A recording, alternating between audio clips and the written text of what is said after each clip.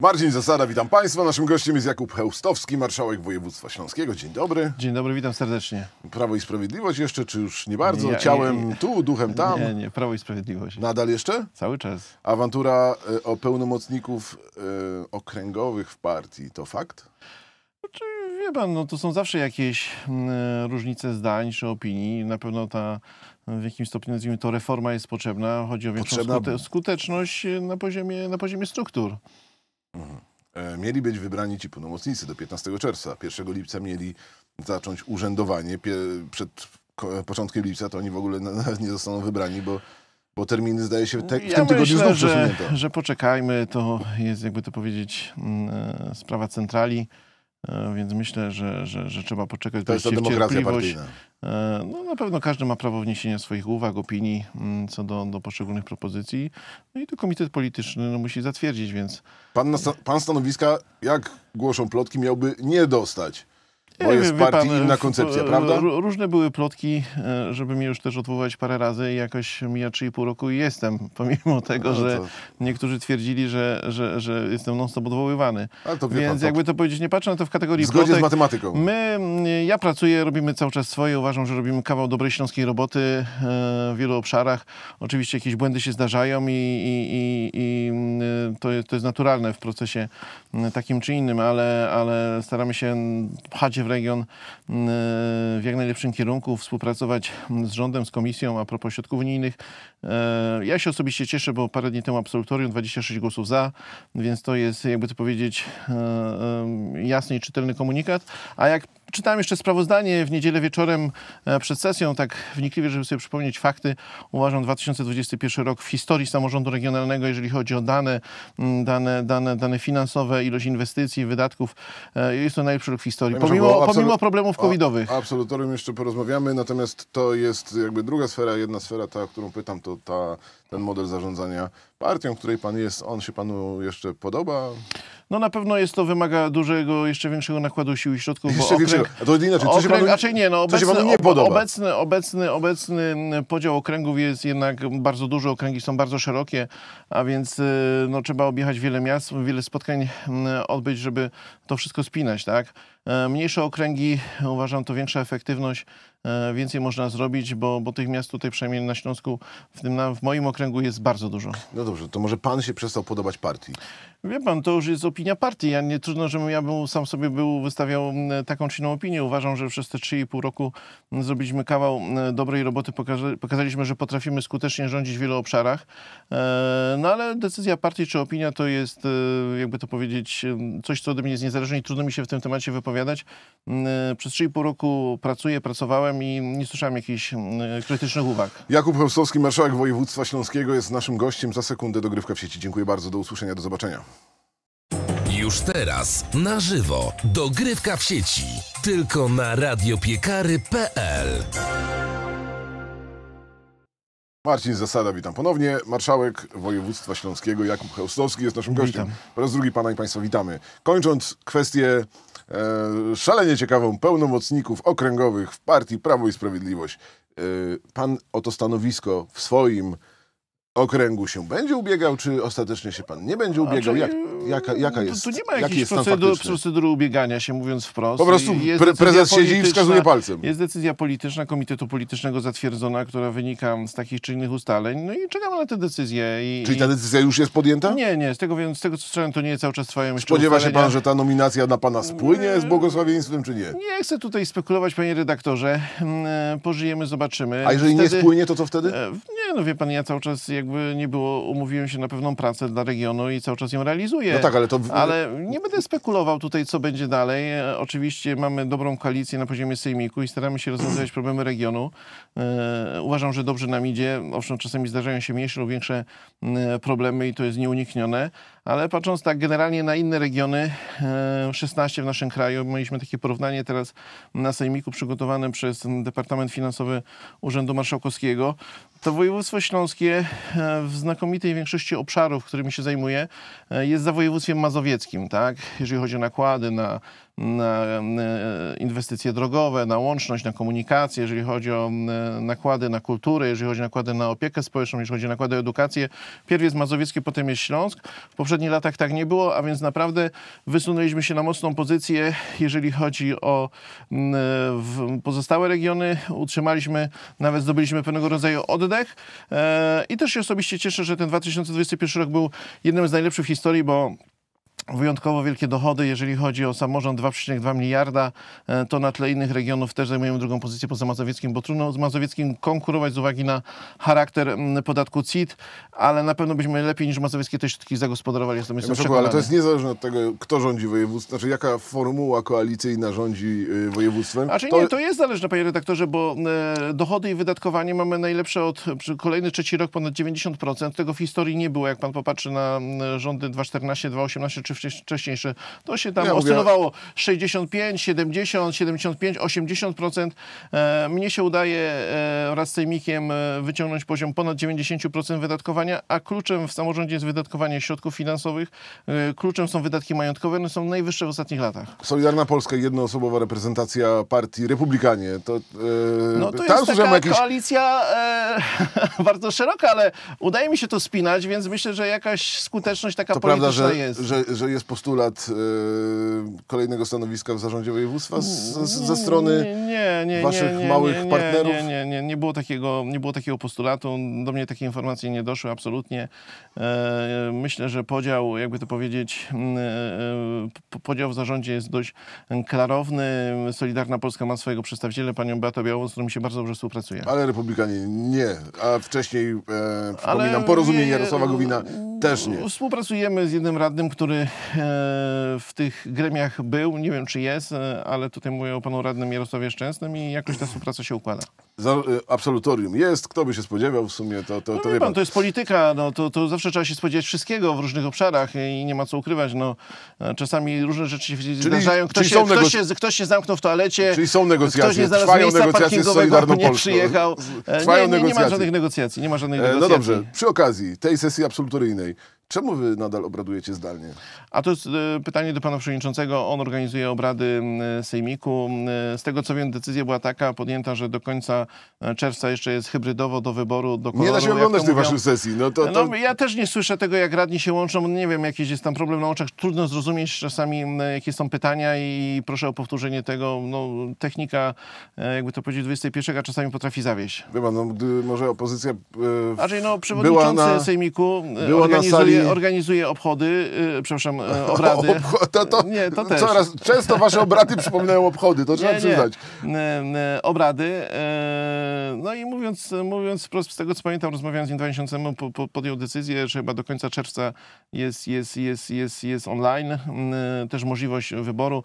akurat tutaj większość bez dwóch zdań Prawa i Sprawiedliwości jest obecna na sesji zawsze, więc jakby to powiedzieć, no to, to, to nie jest Panie pytanie do mnie, dlaczego był... reszta nie przyjeżdża przyjeżdża. Gdyby był komplet, to może, nie wiem, ktoś zapytałby dlaczego, o sprawę opisywaną ostatnio w Gazecie Wyborczej karkołomnego dzielenia pieniędzy na pełno, niepełnosprawnych i przekazywania, a, a właściwie nie pan, przekazywania e, to, dokumentów to, to, to bardziej jest pytanie do pani, do, do członka zarządu województwa, do pani Izabeli Domogały.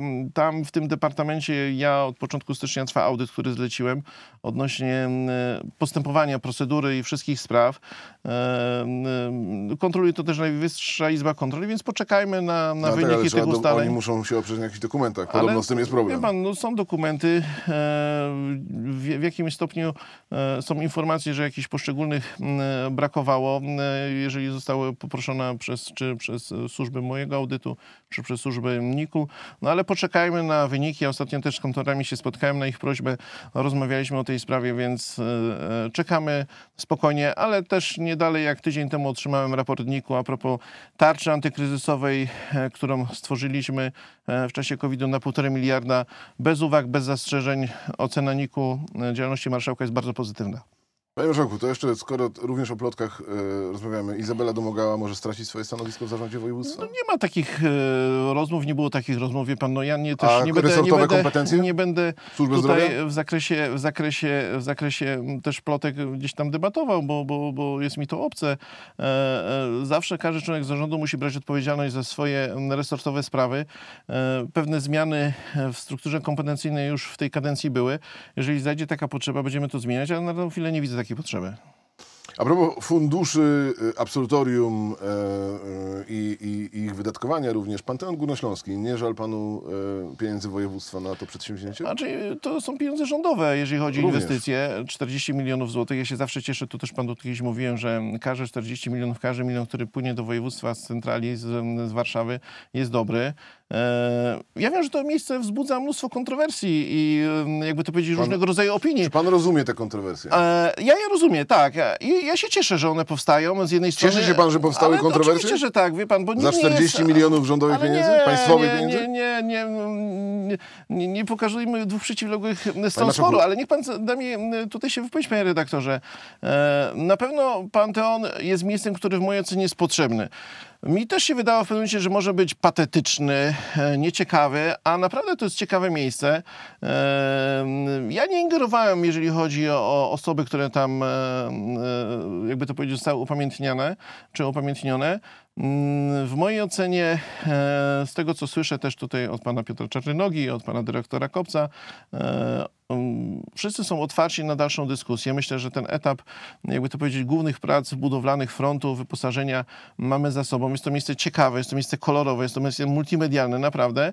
Wzbudza mm, na pewno pewnego rodzaju emocje, ale trzeba o tym dyskutować, trzeba o tym rozmawiać. ale tam I myślę, że dyskusji nie było, na tym każdy, polega problem. Każdy, każdy, mm, każdą sprawę można naprawić i i każdy głos jest tutaj słyszalny. E, Od tego jest też mm, Rada Programowa e, Panteonu, żeby na ten temat rozmawiać. E, Uniwersytet Śląski opracował listę, więc bez dwóch zdań jest to dzieło naukowców, jest to dzieło profesorów, jest to dzieło osób, które, które em, tym się zajmują. Marszałku, jest inaczej- tam wiele ciekawych historii. Przykład mnie się najbardziej podobał Gerard Cieślik, ma fa fajne, fajne miejsce, fajnie to wygląda, nie ma co ukrywać, ale, ale trzeba tam być, panie redaktorze, trzeba to zobaczyć. Ja do tego gorąco zachęcam, e, a z pewnością ta dyskusja o Panteonie jeszcze będzie długo, Panie długo trwała, nie wiadomo, ale takie jakie- miejsce było potrzebne. Nie, no, ale to jakby w żaden sposób nie jest recenzją ani usprawiedliwieniem tego, co tam powstało. E, nie wiadomo, jakie były kryteria doboru postaci. E, jak rozumiem, pan również nie do końca rozumie, dlaczego tam nie było religii, na przykład, No dlaczego nie rozumiem było tego Kuca, akurat, Gracza, dlaczego, dlaczego, dlaczego wylecieli pro, profesora religii. śląscy nobliści, Ale większość myślę, ludzi że to, są ludzie sprawy, związani które, z Kościołem. Które, które będą na pewno w jakimś stopniu e, naprawiane. I ale na czemu, pewno... naprawiać, czemu naprawiać No, coś, ale, co powstało za 40 milionów? Ale to nie są wielkie sprawy, to nie kosztuje wielkiego nakładu siły i środków. Jakaś No to zmiana czy poszerzenie wystawy, informacji o osobach, które tam zostaną upamiętnione. W mojej ocenie, e, e, w mojej ocenie jest to ciekawe miejsce. E, Trzeba rozmawiać o jego rozwoju, trzeba rozmawiać o tych, którzy powinni się tam znaleźć e, i to o tym jestem wręcz przekonany. Ja czekałem na tą wystawę, żeby ją zobaczyć. Nie chciałem, żeby było, że jakby to instrumentalnie mówimy, że ma być ten, tamten i tamten. E, Myślę, że środowiska, które to zarekomendowały, też miały swoje argumenty, ale sprawa w mojej ocenie powinna być otwarta i wiele osób powinno się tam znaleźć, powinno być to uzupełnione. Na dzień dzisiejszy Ale, nie ingerowałem w Szymku, wystawę. No, rozumie pan, rozumie pan absurd tej sytuacji? A czy nie, to nie jest absurdalna Mówimy o sytuacja. instytucji, Nie, która powstała- panie chwileczkę, panie redaktorze, marszałku. Potem by było tak, że e, to marszałek Chełstowski stwierdził... Ale jaki marszałek e, Chełstowski? To nie od jest kwestia marszałka Chełstowskiego. Znam życie i wiem, jak to wygląda, potem wszyscy się będą powoływać, że to jest Naprawdę marszałka Chełstowskiego trzeba do tego, żeby stwierdzić, że Zbigniew Religa zasłużył nie, nie, na o upamiętnienie tym, w nie, Panteonie nie, nie, nie mówię o tym Górnośląskim. charakterze. Mówię o tym, żeby... Ja to zostawiłem środowisku, które e, to, mm, ten, ten pomysł mm, kreowało, współtworzyło. Jest rada programowa, e, jest pan dyrektor, który mm, te zadanie realizuje e, i wymaga na pewno to uzupełnienia i to jest bezdyskusyjne. Ale proszę mi e, nie oczekiwać naj- ode mnie, że e, ja zadzwonię do pana dyrektora Kopca i mu ja powiem, panie nie dyrektorze oczekuję. Kopiec, Natomiast- proszę, żeby był ten, ten i tamten. Tak samo jak nie dzwonię do Teatru Wyspiańskiego, tak samo jak nie mówię dyrektorowi Czerniakowi, co mają robić.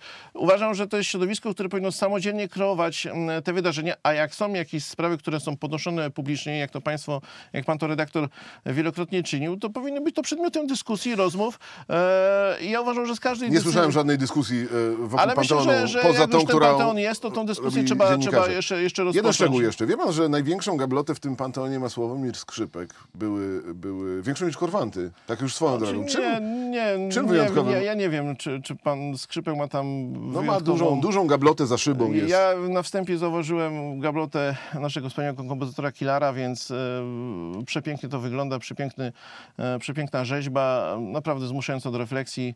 E, są to różnego rodzaju strefy literatury, e, muzyki, m, ludzi, którzy zasłużyli się w nauce, w sporcie. Czym się zasłużył Sławomir Ale ja, ja, ja, trudno, mi to, trudno mi to powiedzieć, bo tego akurat nie dojrzałem. No, tak czy inaczej. No, wiemy, że zginął w Smoleńsku. Krystyna Bochenek też zginęła w Smoleńsku. Krystyna Bochenek jest na takiej wspólnej tablicy. Sławomir Skrzypek ma osobną, o, osobną gablotę. No, taki Ale jest no, ten... nie, nie chcę się bawić Panteon. tutaj w ocenę, kto ma większą gablotę, no bo to chyba nie o to chodzi, panie redaktorze. Panie E, marszałku. nie, nie, nie mierzyłem taką skalą. Powiem tak, jeżeli pan mówi, że dzisiaj po otwarciu ogromnych pieniądzach, które zostały tam zainwestowane, mówi pan, że no, trzeba ten Panteon uzupełnić czy poprawić, no to pan wybaczy, ale to jest najlepsza recenzja dla tego, co tam powstało faktycznie. Ale wie pan, panie redaktorze, dobrze to miejsce jest. Krytyczna bo ja na recenzja. to patrzę troszkę innymi, innym spojrzeniem. Mm, Uważam, że y, owszem, w każdym projekcie są jakieś sprawy, które trzeba naprawić, które trzeba y, y, wziąć, skonsultować i, i, i zrealizować w innym świetle. I to jest bezsprzeczne w mojej ocenie. Ale z drugiej strony niech pan popatrzy na to w perspektywie takiej, że mamy dwa miejsca na naszej mapie na dzień dzisiejszy i Panteon, i Śląskie Centrum Wolności i Solidarności, które będzie uważam dla młodego pokolenia świetną ścieżką e, historii, edukacji w wielu obszarach. Bo tak jak Śląskie Centrum Wolności i Solidarności i wystawa o wujku kreuje te 40 ostatnich lat, e, pokazuje mm, to, co się wtedy wydarzyło. Można Okej. to odczuć. Śląskie Centrum Wolności i Solidarności Tak. pokazuje historię, pe, pewną historię. Ja nie wiem, co pokazuje Panteon i wra- Górnośląski, jaką historię myślę, opowiada. Myślę, że pan Także- redaktor tam powinien się wybrać, jak tylko będzie to udostępnione. E, I to wydaje mi się, że jak się połączy te dwa wydarzenia e, w ciągu jednego dnia, jak e, uczniowie, młodzi ludzie pojadą, zobaczą... Ale tak, jest motor taki, wy- można sobie pojeździć na motorze. w- Wy, wypracują, w kate- sobie, w wy, wy, wypracują sobie pewnego rodzaju opinie, ale też zobaczą miejsce, które no, gdzieś tam wiele tych życiorysów przypomina, tak? No wiadomo, jakie są teraz czasy internetu, zupełnie inne, ale wydaje mi się, że to może być ciekawe uzupełnienie. Proszę, to są i- banalne życiorysy, ale- banalne życie. Urodził ale się wtedy, zrobił to, to i nie tamto. jest łatwa sprawa umieścić tam nagle Oczywiście, że to nie jest łatwa parę sprawa. setek życiorysów Ale osób, żeby było w ciekawy sposób, No, ale tak? liczyliśmy, że będzie ciekawie. Ale ja Po to uważam, to że jest powstało. ciekawie. Multimedialnie, pan to redaktor, panie redaktorze, mnie to zaciekawiło. Owszem, e, każdy projekt ma swoje plusy, ma swoje minusy, e, ale jak pan redaktor tam pójdzie, ja jestem przekonany, że wnikliwie przejrzy każdą gablotę. Z całą. Znaczy nie wiem, czy wie pan, była nasza, wysłaliśmy dziennik, e, dziennikarkę, to redaktor Semik pisała, mówi przede wszystkim Ale pani najważniejszy redaktor zarzut. Semik, jakby to Nudna, powiedzieć, e, nudna, de- w mojej wystawa. ocenie jest nacechowana ogólnie zawsze wielką niechęcią do... Do czego? Do, do wielu rzeczy, więc e, To- to taki chyba- charakter chyba. To chyba dobrze w takim razie, no wie pan, to, to dziennikarze powinni raczej krytycznie spoglądać A czy na ja świat. nie mówię, że, nie, że, że pozytywnie, ale też trzeba być obiektywnym, wyważonym y, i, i jak są dobre, jakby to powiedzieć, działania, to, to jakby jeżeli to są złe, a jak są złe, to no to trzeba pan- krytykować. no to wie- jest, ja pan. się z tym jak najbardziej zgadzam. ma pan, ma pan przykład. Ale ja się może. tego nie boję tutaj, panie redaktorze. Uważam, że ta instytucja ma, jest współprowadzona e, przez nas, przez miasto Katowice, przez ministerstwo, e, przez archidiecezję. E, no to, to jest duża ilość partnerów. Lekkoatletyczne Mistrzostwa Świata na Śląskim. To jest e, rok 2025? To Tak. jest e, szansa, czy, czy bardziej marzenie? E, no na pewno na dzień dobry marzenie, chociaż wszystkie kryteria formalne m, spełniliśmy. To jest oficjalna kandydatura? Tak, oficjalna kandydatura. Tydzień temu mieliśmy, mm, jakby to powiedzieć, e, rozmowy z Radą Wykonawczą World Athletics. E, mm, Myślę, że to było dobre spotkanie. E, Może ja jestem, jakby to powiedzieć, mm, marzycielem w, tym, w, te, w tej sprawie, bo to naprawdę mm, jest wielka sztuka takie mistrzostwa tutaj ściągnąć, ale my raczej chcemy też pokazać, że Śląsk jest aktywny na tej mapie wydarzeń międzynarodowych sportowych. Wiem, że tam w grze jest mm, bardzo mocno kandydatura Tokio, bo nieudana olimpiada z uwagi na COVID w jakimś stopniu gdzieś tam e, słyszy się tu i ówdzie, że powinna zrekompensować To raz jeszcze. Cztery, cztery kandydatury, Z- czy pięć? Cztery, cztery, cztery. Cztery, w tym Śląski? Cztery, tak. W tym, w tym w ogóle jako region, e, w ogóle dla też e, władzy, władz wykonawczych World Athletics, po raz pierwszy w ogóle w historii region się zgłasza. Zawsze zgłaszało się jakieś miasto, a zgłasza się region, bo jesteśmy jedyny, jedynym regionem w kraju chyba w dużej części Europy, który jest właścicielem pięknego Stadionu Śląskiego. Czyli Tokio, słyszałem o kandydaturze Kenii, ktoś jeszcze? Kto E, jeszcze? Singapur. Singapur. Singapur, Singapur. I Śląsk, województwo Śląsk, śląskie. Śląsk. I Stadion Śląskie. Więc e, Diamentowa Liga to jest a, e, argument za czy przeciw za, za, za, bardzo mocny za, z uwagi na to, że do tej Diamentowej Ligi bardzo wiele miast e, zgłasza swoją kandydaturę, e, a nie wszyscy są wybierani. No rozumiem, ale Myśmy- skoro, skoro się- Chorzów Myśmy- dostał diamentową myśmy- ligę, to myśmy, może... Myśmy wskoczyli do, do tej diamentowej ligi z uwagi na 2021 rok na Mistrzostwa Świata Sztafet i na drużynówkę, która została bardzo dobrze oceniona przez European Athletics i World Athletics. Z uwagi też na ten covidowy czas były to praktycznie dwie jedyne imprezy w, roku 2021. Bardzo dobrze ocenione i dobrze zorganizowane. E, I to też jest pewnego rodzaju nagroda. Oczywiście mamy stadion lekkoatletyczny de facto. E, mm, Jestem przekonany, że, że będziemy walczyć o różnego rodzaju imprezy. Niekoniecznie zawsze musimy je dostać. Mamy w przyszłym roku mm, drużynowe Mistrzostwa mm, Europy. E, W 2028 też kolejne wielkie wydarzenie. E, Mistrzostwa Europy y, w ogóle lekkoatletyczne. To też pokazuje jeszcze. naszą skalę. E, Ale z drugiej strony no, trzeba, trzeba pokazywać się w tym gronie. E, Mamy gwarancje rządowe finansowania tego wydarzenia. Którego? E, 2,25. Mistrzostw Świata. Tak, 2,25. Do, dobrze, że pan o tym, o tym wspomniał. Ile kosztują tego, tego typu imprezy? Diamentowa Liga, i Liga ile to będzie kosztować Liga myślę, że to będzie koszt od między 12 a 15 milionów złotych. Dla województwa. E, no, wszystkimi kosztami, bo jeszcze też... Ile z tego y, będzie trzeba wyłożyć z budżetu No y, myślę, że regionu? między od 12 do 15 milionów złotych, bo. Sta, stać nas, albo was Stać, właściwie? Stać, tak, Sejmik teraz zatwierdził jeszcze dopłatę, jakby to powiedzieć, do, do tego wydarzenia na ostatniej sesji. 12-15 milionów złotych. No panie redaktorze, ale mamy stadion za 700 milionów złotych, który spłacamy, więc e, co tam ma hulać wiatr? No nie możemy patrzeć takimi kategoriami. Jak stworzyliśmy obiekt, który ma taką wartość, jest dobrze oceniany na świecie, to chyba chcemy mieć tam największe imprezy, a nie mistrzostwa Będą powiatowe. wpływy z, nie wiem, z biletów? No, nie, biletów nie będzie chyba. Nie, nie będzie biletów, bo za krótki jest czas, żeby zrobić dużą akcję reklamową. Też poanalizowaliśmy koszty i taki, taka, taka potężna akcja reklamowo-marketingowa kosztowałaby setki tysięcy złotych. E, nie, niekoniecznie, niekoniecznie akurat jest to środek wakacji u nas, e, 6 sierpnia. M, Mogłoby to spowodować, że stwierdziliśmy, że jednak idziemy tym dalej krokiem i, i memoriał Kamili Skolimowskiej będzie, za- będzie za darmo, ale chyba to będzie jeden z ostatnich memoriałów, który będzie niebiletowany. A, y, to jeszcze ostatni szczegół. Kiedy y, decyzja w sprawie Mistrzostw Świata? W połowie lipca. Połowie lipca tego roku. Tak, na Mistrzostwach Świata w Stanach Zjednoczonych. Panie Marszałku, ostatnia kwestia. Czy pan y, gotowy na samokrytykę w sprawie y, Muzeum Śląskiego? A pana ulubiony temat. A myślałem, że pan to odbył Śląski. E, przyjąłby pan z powrotem do pracy Alicję Knast, e, kto, bo właśnie, wygrała, właśnie niedawno wygrała sprawę w sądzie. Znaczy, wie pan, ja na to patrzę trochę inaczej. E, Ja nie zmieniam zdania co do jakości pracy pani Knaz, jeżeli chodzi o mm, charakter zarządzania muzeum, bo mm, choćby ten rok pokazał i zeszły rok pokazał, jak bardzo dużo trzeba środków finansowych do innych instytucji kultury, a tam te środki były marnotrawione. E, I taki jest fakt. Decyzja sądu wynika, opiera się na przesłance, która nie wynika wprost z ustawy i sąd ma prawo podjąć taką decyzję. W ustawie nie jest zapisane wprost, że e, jakby to powiedzieć, e, przyczyną unieważnienia m, tej całej sytuacji jest to, że sąd twierdzi, że my powinniśmy wystąpić do organizacji pozarządowej, do której ówczesny zarząd województwa się zwracał z prośbą o wydanie opinii. Myśmy wystąpili do innej. W ustawie nie ma takiego zapisu wprost. Nie uważam, żeśmy wtedy złamali jakkolwiek prawo, no ale decyzja sądu jest taka, że ta uchwała została unieważniona. Pytałem, czy przyjąłby pan e, panią dyrektor Knast z powrotem do pracy? Myślę, że, że wypowiedzi pani dyrektor Knast na mój temat wielokrotnie kłamliwe, nieprawdziwe, panie redaktorze, ale proszę mi dać się wypowiedzieć, y, no pokazują, że, że, że, że myślę, że ta współpraca by była ciężka do, do, do wznowienia. Ja pani Knast, jak każdemu życzę w, w każdym innym nowym miejscu pracy sukcesów i, i, i kibicuję każdemu z naszych y, mieszkańców, bez zdań, czy osób, z którymi współpracowaliśmy. Y, Są pewne etapy, które się kończą we współpracy na pewnym poziomie, e, a w każdym miejscu życzę im naprawdę z całego serca jak najlepiej. Czy pan, e, albo jak pan ocenia e, e, panią dyrektor Marię Czarnecką, która e, obecnie kieruje Muzeum Śląskim? Jakieś sukcesy na polu, na odcinku muzealnym? Myślę, że myślę, że jeszcze, jeszcze, jeszcze takich wielkich sukcesów bym tutaj nie wskazał, ale mam nadzieję, że w, w tym roku uda się, jakby to powiedzieć, wrócić do tej dawnej działalności, mm, dawnej działalności mm, z uwagi COVID, jakby to powiedzieć też e, bez dwóch, bez dwóch zdań, m, zamiesza w tej całej działalności kulturalnej w wielu obszarach. E, No i odbudowywanie e, tych wszystkich działań też kosztuje dużo czasu i mam nadzieję, że ten rok będzie dla muzeum przełomowy. A można kierować tak ważną instytucją, Muzeum Śląskie ważna instytucja? Bardzo ważna. Bardzo ważna. Pracując, mieszkając w Warszawie, dojeżdżając na Śląsk, podobno trzy dni w tygodniu, to jest... Nie, no panie redaktorze, chyba to jest jakaś karczka dziennikarska. Wydaje mi się, z tego co ja wiem, normalnie pani dyrektor pracuje 5, 6, 7 dni w tygodniu, w zależności od, od potrzeb, jak to wygląda. Nie, nie słyszałem o takich przypadkach, żeby coś takiego miało miejsce. Na, pe- na pewno, na pewno no nie wyobrażam sobie takie, te, te, te, takich, takich działań.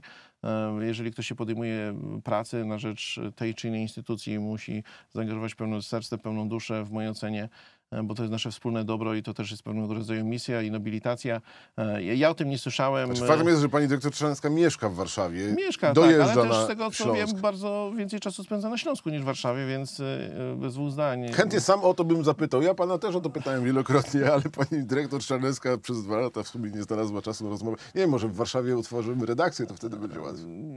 Panie redaktorze, jakby to powiedzieć, pana warsztat, urok osobisty myślę, że w pewnym momencie sprawi, że pani dyrektor tu też zawita. E, Trzeba wierzyć w ludzi. E, e, tak pan pocukrował, że już e, w, w tej sytuacji wypada nam tylko się Skończyć. pożegnać. Jakub Chełstowski, marszałek województwa śląskiego, był dziś z nami. Dziękuję bardzo. Dziękuję ślicznie. Miłego dnia, do zobaczenia, do usłyszenia.